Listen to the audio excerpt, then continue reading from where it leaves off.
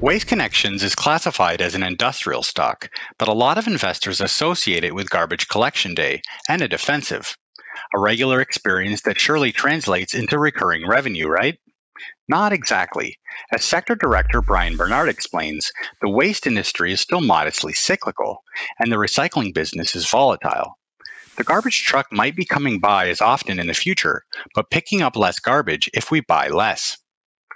Waste Connections is an industry leader with a wide moat and strong pricing. But investors might be paying too much for top line expansion we forecast at around 8% annually until 2026. Unless, of course, our consumer culture continues. For Morningstar, I'm Andrew Willis.